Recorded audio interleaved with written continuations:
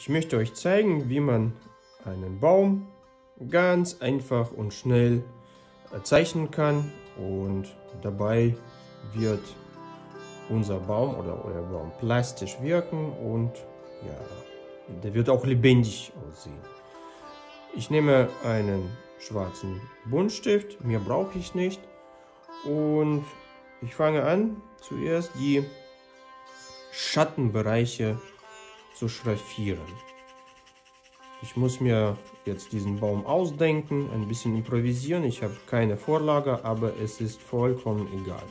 Also ich weiß auch, dass das Licht von oben rechts kommt. Deswegen habe ich hier auf der linken Seite die Schattenbereiche auf meinem Baum. So ungefähr einmal hier der große Schatten. Hier etwas kleiner wahrscheinlich. Hier noch ein bisschen. Hier vielleicht etwas mehr. Hier noch etwas. So.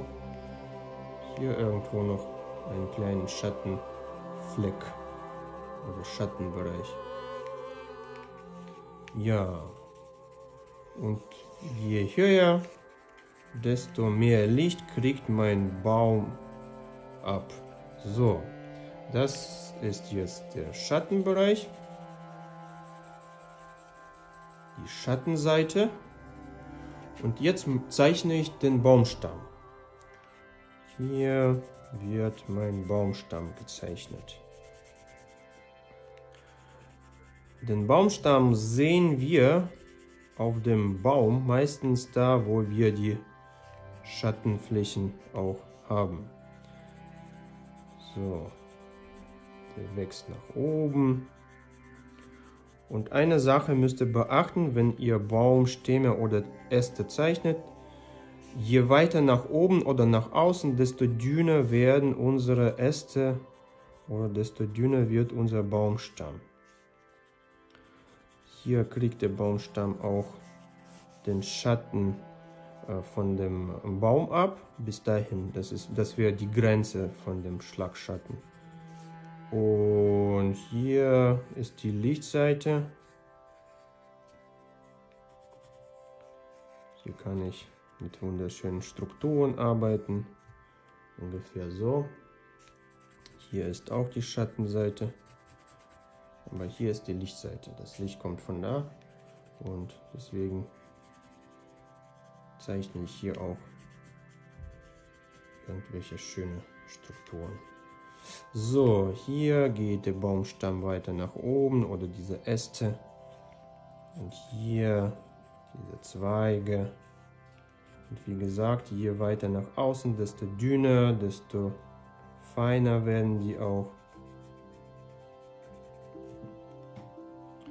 Das geht hier wahrscheinlich so durch.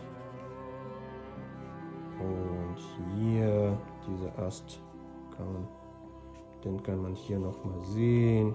Und den auch noch. Und hier. Und da und da. So.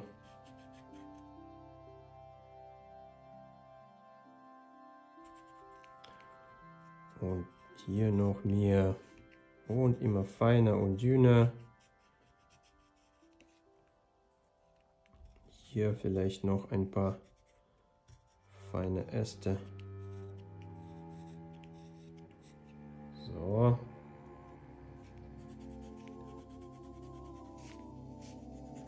Hier könnt ihr ganz deutlich sehen, dass der Baumstamm hier am, hier am dicksten ist und je weiter nach oben, desto dünner wird er auch. So, hier sind noch irgendwelche Äste. So. Kann so aussehen.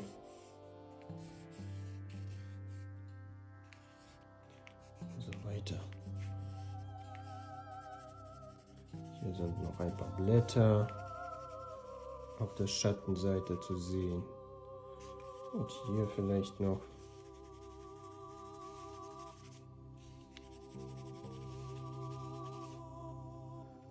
man kann schon die Form von dem Baum erkennen. Wie gesagt, hier ist die Schattenseite und das ist sozusagen die Rückseite von dem Baum und vor der Rückseite haben wir den Baumstamm ja, und die Äste. Die sind vor der hinteren, der, äh, der hinteren Seite des Baumes. Ja? Und hier innen drin kann man deswegen diese Äste auch ganz deutlich sehen und es ist so wie ein, eine Überdachung und unter dem Dach hat man überall Schatten und da sieht man die Äste. Das ist die innere Seite äh, eines Baumes. Und diese helle Flächen, das sind die, äh, die vorderen Seiten des Baumes, die Oberfläche im Vordergrund. Und die kriegt auch hier das Licht ab von der Sonne. Und diese vordere Seite, die deckt auch die Baumstämme und die Äste zu. Deswegen sehen wir sie hier, also die Baumstämme und die Äste, äh, auf diesen Flächen gar nicht mehr. Diese Flächen decken die Äste und die Baumstämme zu. Ja, das müsst ihr, das müsst ihr verstehen. Und deswegen sind die auch heller als hier diese dunkle Schattenflächen. Und hier kann ich jetzt auf der Lichtseite die Blätter imitieren, indem ich solche Strukturen zeichne. So. Ich zeichne, ich kann jetzt nicht jedes Blatt einzeln zeichnen, aber ich kann mit Hilfe von so einem Muster die Blätter imitieren. So.